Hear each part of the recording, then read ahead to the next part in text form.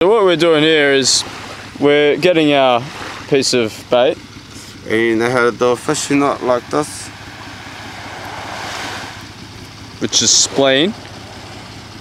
Chucking a fishing knot See around that ties spleen. onto it like that? It's tied on it nice tightly. Check it out, guys. Twist it around. And you grab it and you just tie it on like that. It's called a fishing One more time, because you need to tie it around there all the way around. Just pinch a bit where you want the knot to go, like this. See that? Voila! It's all tied on the whole thing. And you go like this. Right. Don't trip over, but go like this.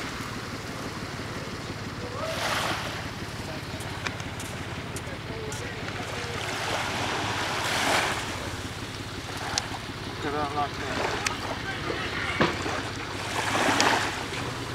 put this over here. Look. Put this over here. Nice and tight.